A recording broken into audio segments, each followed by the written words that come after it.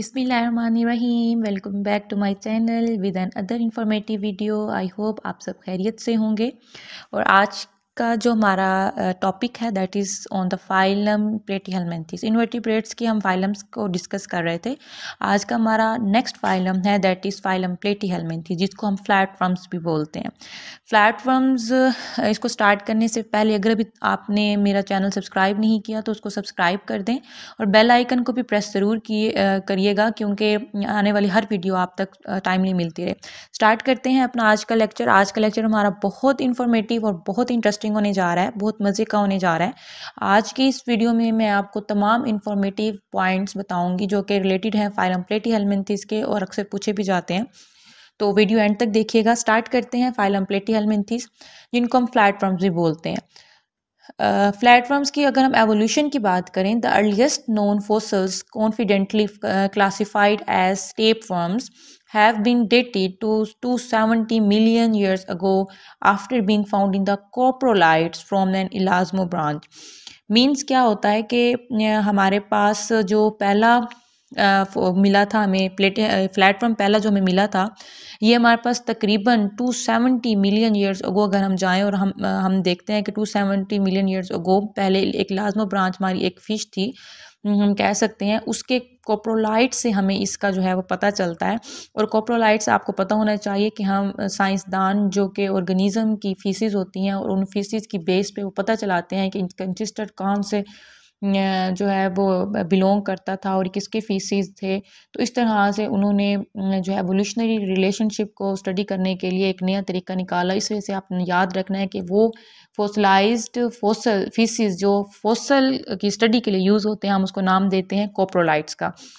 अगर हम इसके फीचर्स की बात करें कि इसके फीचर्स क्या हैं प्लेटी हेलमेंथिस होते क्या हैं तो आपने याद रखना है their body is dorsoventrally flattened they exhibit bilateral symmetry also they are triploblastic with three germ layers इससे पहले हमने फाइलम नाइडेरिया और फाइलम हमारे पास स्पंजेस थी दो। उनको हमने नाम दिया था, वो हमारे पास डिप्लोब्लास्टिक थे। They have two layers two germinal layers which were the ectoderm and inner the endoderm उनके अंदर कोई तीसरी लेयर नहीं थी, इस वजह से हमने इनको डिप्लोब्लास्टिक जो है वो नाम दिया था। और इस, ये भी आपने याद रखना है कि ट्रू डिप्लोब्लास्टिक याद रख सकते हैं आप। क्वेश्चन आ जाता है कौन से हैं? तो आपने वो कौन से लगाना है? नाइडेरियंस क्योंकि स्पंजिस के अंदर हमने बात की थी कि उनके अंदर बाहर वाली लेयर जो है वो पाइनाकोडर्म होती है, अंदर वाली क्वानोडर्म होती है। वो ट्रू डिप्लोब्लास्टिक नहीं है। ट्रू डिप्लोब्लास्टिक कौन से हैं हमारे पास? वो है नाइडेरियंस उनकी बाहर वाली एक्टोडर्म है, अंदर वाली एंडोडर्म है। अगर हम यहाँ से देखें प्लेटी हेलमेंथी से हमारे पास ट्रिप्लोब्लास्टिक ऑर्गेनिज्म स्टार्ट हो जाते हैं और ट्रिप्लोब्लास्टिक ऑर्गेनिजम्स ऐसे ऑर्गेनिजम्स होते हैं जिसको हम नाम देते हैं कि ये हमारे पास थ्री जर्मिनल लेयर्स इनके अंदर मौजूद होती हैं। एनिलिडा भी जो है, हमारे पास ट्रिप्लोब्लास्टिक के अंदर आता है प्लेटी हेलमेंथिस भी हमारे पास ट्रिप्लोब्लास्टिक आता है। तो यहाँ पे ट्री ट्रिप्लोब्लास्टिक इनकी जो है वो लेयर्स होती हैं एक्टोडर्म मीजोडर्म और endoderm they do not have a body cavity and are acoelomates ये एसिलोमेट्स कहलाते हैं। इनकी बॉडी जो है सॉफ्ट होती है and unsegmented and they are mostly parasitic with a few free living बहुत सारे जो हैं ये पैरासाइटिक होते हैं। कुछ हैं इनकी स्पीशीज़ जो फ्री लिविंग है, ये भी पॉइंट आपने याद रखना है। कि इनके अंदर 99 परसेंट जो है वो इनके पैरासाइट्स होते हैं, जबकि हम कह सकते हैं कि एक इनका ग्रुप है टर्बिलेरियन जिनको हम बोलते हैं, वही हमारे पास उसकी 20 स्पीशीज़ हैं, वो फ्री लिविंग हैं। बाकी तमाम हमारे पास जो ये प्लेटफॉर्म्स होते हैं, वो पैरासाइट्स होते हैं। तो स्टार्ट कर लेते हैं इनकी क्लासीफिकेशन। तो बट आपने याद रखना है इनकी क्लासीफिकेशन के अंदर कि इनकी क्लासीफिकेशन की जब भी हम बात करते हैं तो इनको हम डिवाइड करते हैं चार ग्रुप्स के अंदर। टर्बिलेरियंस होते हैं हमारे पास ट्रीमाटोडा, सेस्टोडा और मोनोजीनिया। तो हम बारी बारी उनको जो है वो डिस्कस करते हैं। सबसे पहला पहला हमारा जो ग्रुप है that is the Turbellaria and Turbellaria की about forty five hundred species जो है वो हमें मिलती हैं। There are about forty five hundred species that are actually mostly free living तो आपको जो है ये फ्री लिविंग कुछ मिलेंगी और इसके अलावा इनकी रेंज होती है from one millimetre to six hundred millimetre in length और अगर हम टोटल इनके प्लेटफॉर्म्स के परसेंटेज निकालें तो ये परसेंटेज सिर्फ़ twenty percent total flat platforms में से मिलेगी आपको, जो कि हमारे पास फ्री लिविंग आएगी। अच्छा मोस्टली दे आर प्रीडेटर्स और the scavengers and terrestrial species are mostly nocturnal and live in the shaded humid locations and rotting wood तो आपने याद रखना है कि फ्री लिविंग टर्बिलेरियन जो है वो मोस्टली ब्लैक कलर के होते हैं ब्राउन और grey but some larger ones are brightly coloured इसके अलावा आपने टर्बिलेरियंस के बारे में कुछ जो है वो पॉइंट्स याद रखने हैं कि टर्बिलेरियंस हमारे पास जो है वो नॉन पैरासाइट्स के तौर पर भी काम करते हैं। और रेबडाइट इनके अंदर मौजूद होता है, जो कि ख़ास किस्म की कवरिंग होती है, जो कि म्यूकस फॉर्मेशन करती है। इसके अलावा आपने याद रखना है कि इनका जो डाइजेस्टिव सिस्टम है, वो सैक लाइक होता है। इनके अंदर एक्सक्रीशन प्रोटोनेफ्रीड या किडनी के ज़रिए होती है और इनकी रिप्रोडक्शन जो है, दोनों तरह से हो सकती है। ए भी हो सकती है और सेक्सुअली भी हो सकती है। या मैंने आपको टर्बिलेरियन का एक बॉडी प्लान दिखाया है। देखें कि इनके अंदर सिंपल सी फैरंग्स आपको नज़र आ रही है। फैरंग्स के नीचे गेस्ट्रोवेस्कुलर की कैविटी है सिंगल हम इसको कैविटी को गैस्ट्रोवेस्कुलर कैविटी का हम नाम दे रहे हैं। ये हमारे पास सीलिएटिड होती है और इसके अलावा जो है इनके अंदर जो है हम कह सकते हैं माउथ भी देख रहे हैं आप, इनके आई स्पोर्ट्स भी हैं। Most other turbellarians have pharynx it is eversible can be protrude out eversible का मतलब ये होता है कि कुछ के अंदर जो है वो सिंपल होती है किसके कुछ के अंदर रिवर्सिबल होती है कि वो बाहर भी आ सकते हैं। Different species can be anywhere along the under side उनके माउथ जो है कि कहीं भी हमें मिल सकता है। तो बड़े मज़े की हमें इसकी जो है वो uh, कह सकते हैं कि डायग्राम मिलती है। और ये भी बात आपने याद रखनी है कि क्लास टर्बिलेरिया के अंदर हम टर्बिलेरिया ही पढ़ रहे हैं ना? हाँ जी, टर्बिलेरिया के अंदर हमारे पास जो इनका लार्वी बनता है, उसको हम मुलर्स लार्वी का नाम देते हैं M U double L E R Muller larvae का नाम देते हैं। अच्छा जी इसके अलावा जो है हम दूसरी क्लास की बात करते हैं that is the Trematoda and Trematoda आपने याद रखना है कि सबसे लार्जेस्ट क्लास है हमारे पास, इसकी फ्लैटफॉर्म्स की सबसे लार्जेस्ट क्लास है।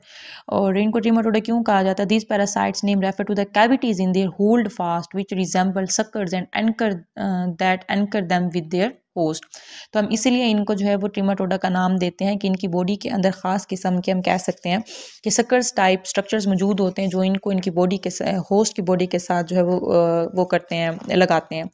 तो इनकी बॉडी आपको नज़र आ रही है, मैंने यहाँ पे डायग्राम भी दी हुई है। इनकी बॉडी आपको नज़र आ रही है कि इनकी बॉडी किस तरह की होती है। इनकी बॉडी लीफ लाइक जो है वो नज़र आती है। देखें that is the leaf like structure Trematoda के अंदर हमें तमाम फ्लूक्स नज़र आते हैं ज़्यादातर।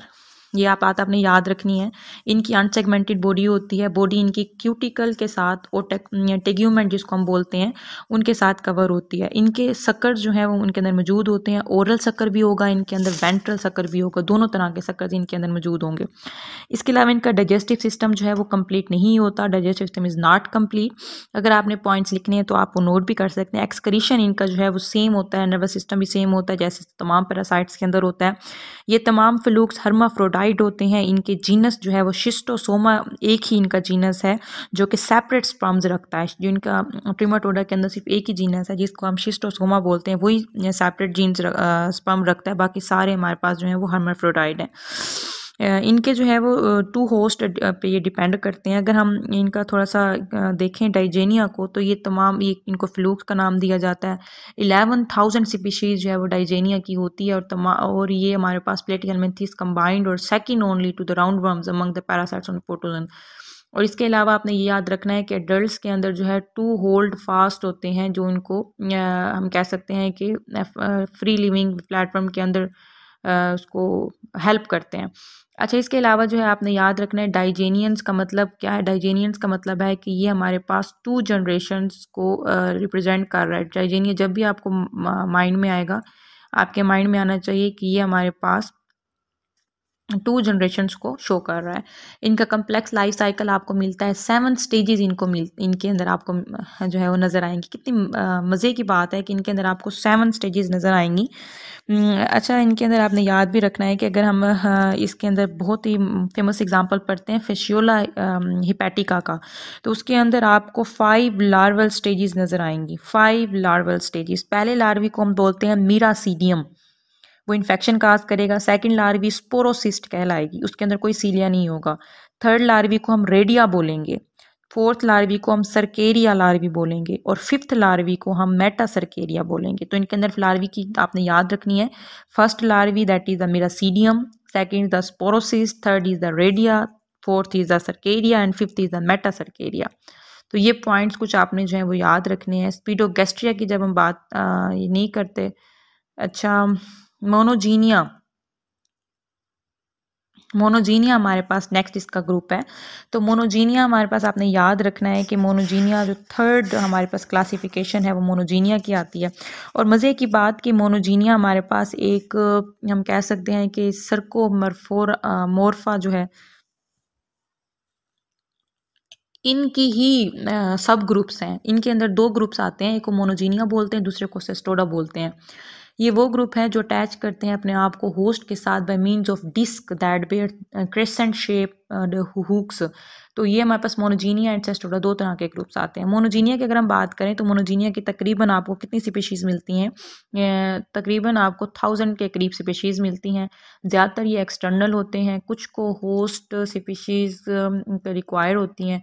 मेनली ये फ़िश के पैरासाइट्स हैं। मज़े की बात कि ये क्वेश्चन अक्सर आ जाता होता है कि मोनोजीनिया होस्ट कौन सा है? तो फ़िश के ऊपर आपको मोनोजीनिया ज़्यादातर मिलेंगे। किसके अंदर मिलेंगे? फ़िश के अंदर।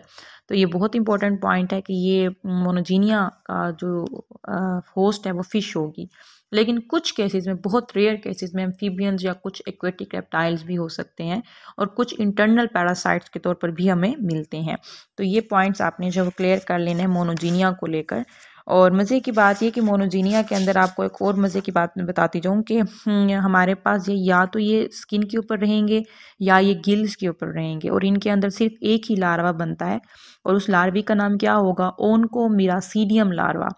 और ये सिलिएटेड होता है ये हमारे पास पोस्टीरियर हुक डिवेलप कर देता है और ये ना अटैचमेंट के लिए होस्ट के साथ जब ये अटैच करता है अपने आप को तो ये अपनी ख़ास किस्म की पोस्टीरियर हुक हुक डिवेलप कर लेता है और उस नाम उसको हम क्या नाम देते हैं? Opisthaptor opisthaptor O P I S T H A P O R opisthaptor जो है उसकी मदद से ये अडल्ट के साथ अटैच हो जाता है।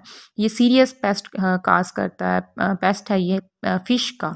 और इसके अंदर हमें जो एग्जांपल्स मिल, मिलती हैं गायरोडेक्टाइलस और डेक्टाइलोगायरस ठीक है? डेक्टोगायरस और गायरोडेक्टाइलस ये हमारे पास दो एग्जांपल्स हैं, आपने याद रखनी है मोनोजीनिया को लेकर।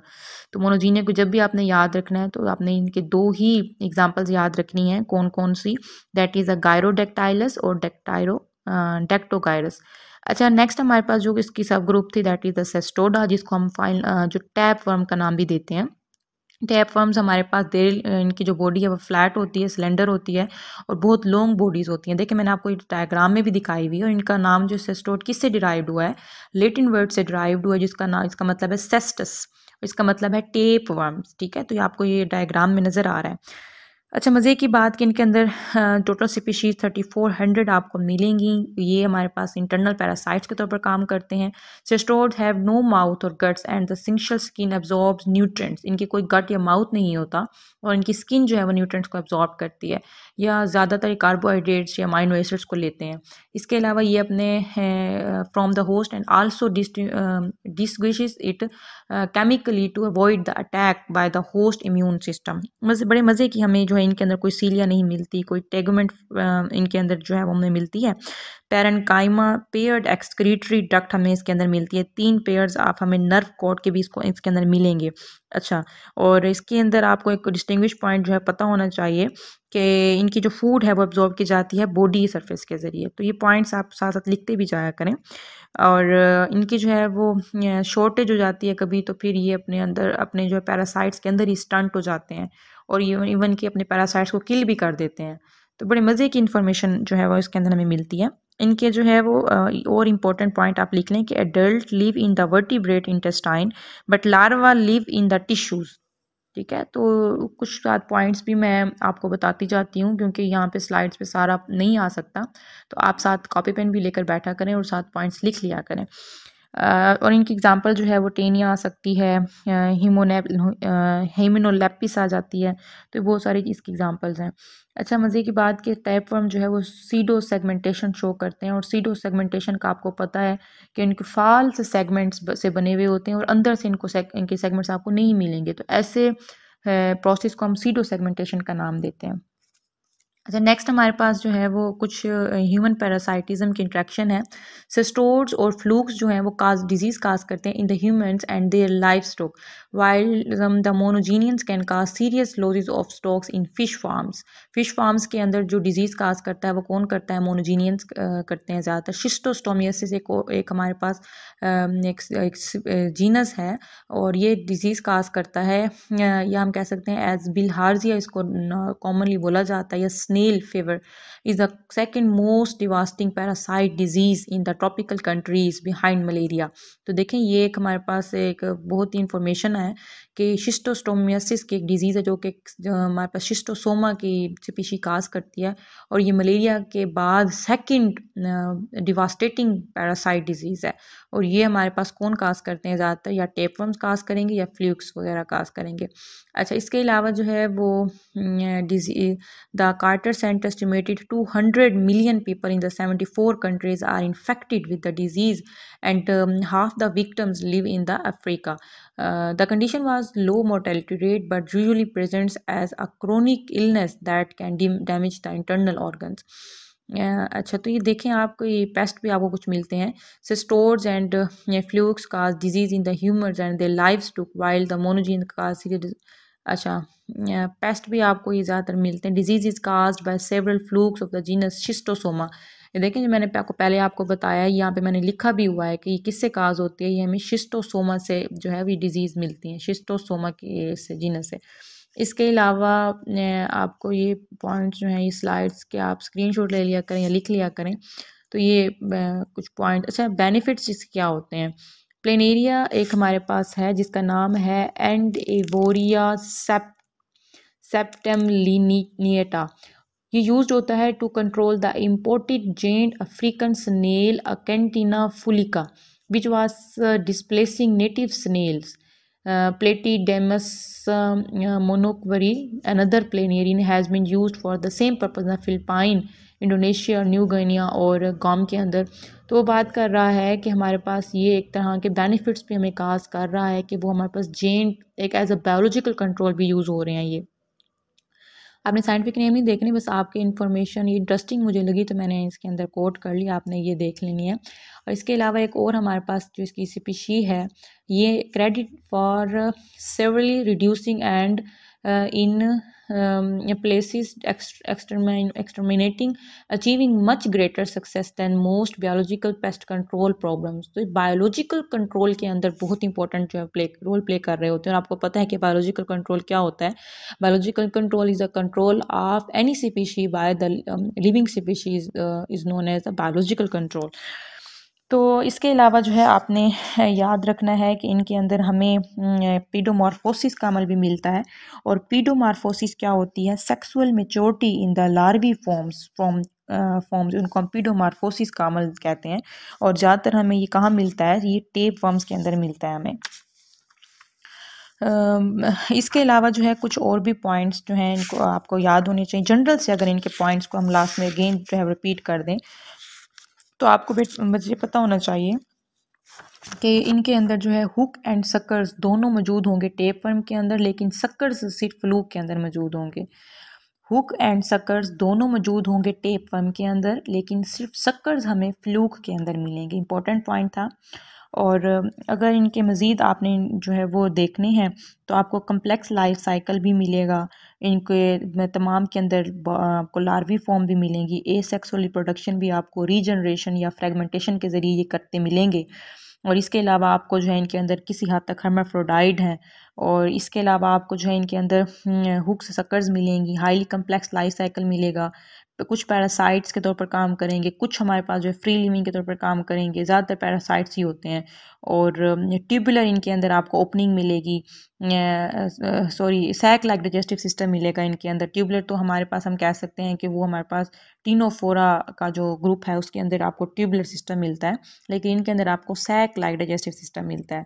और इसके अलावा जो है हम कह सकते हैं कि इनका जो बहुत इंपॉर्टेंट पॉइंट कि इनका जो नर्वस सिस्टम है ना, वो लेडर लाइक होता है सीढ़ी लाइक होता है। कीमो रिसेप्टर्स इनके अंदर मौजूद होते हैं स्टेटोसिस्ट हो सकता है ग्रेविटी जो मेजर करने के लिए यूज़ रियो टैक्सिस करते हैं, ये वाटर करंट के लिए। कुछ एक्टोपैरासाइट्स के तौर पर काम करते हैं, कुछ एंटोपैरासाइट्स के तौर पर काम करते हैं। इसके अलावा इनके अंदर जो है एक्सक्रीटरी सिस्टम जो है वो ट्यूबुलर होता है। ट्यूबुलर एक्सक्रीटरी सिस्टम इनके अंदर होता है। ये फ्री लिविंग हो सकते हैं। नॉन पैरासाइट के तौर पर काम कर सकते हैं। बहुत इंपॉर्टेंट पॉइंट्स हैं, आप याद रखिए रखा करें। अच्छा एक और इम्पोर्टेंट पॉइंट जा जाते हैं, आपको बता दूँ कि हमारे पास जो फ्री लिविंग नॉन पैरासाइट्स के तौर पर जो काम करते हैं ना लाइक हमारे पास हो गया ये प्लेनेरिया पोली पोलीक्लेट्स ये सारे हमारे पास जो है वो free living non non parasites हैं। तो इनकी जो एपिडर्मस है वो सिलिएटेड होगी और उनको हम नाम देते हैं रेबडाइट्स का। इसके अलावा जो पैरासाइटिक प्लेटफॉर्म्स होते हैं ना, उनकी जो एपिडर्मस होती है वो नॉन सिलिएटेड होती है और उनकी नॉन सिलिएटेड होती है और उनके जो अपर सेल्स होते हैं ना, वो फ्यूज हो जाते हैं और सिंशियम कहलाते हैं, उनको हम टेगुमेंट का नाम भी देते हैं और ये टेगुमेंट इनके रेजिस्ट करती है कवरिंग इन ऑल पैरासाइट्स इस वजह से ये सर्वाइव कर जाते हैं। तो बहुत इंपॉर्टेंट और बहुत ही मज़े का आज का लेक्चर था आई होप आपको पसंद आया होगा। तो मिलते हैं अपनी नेक्स्ट इंफॉर्मेटिव और नेक्स्ट फाइलम के साथ। तब तक अपना ख्याल रखें दुआ में याद रखें और ज़्यादा से ज़्यादा पढ़ें। Thank you so much for your time अल्लाह हाफिज़।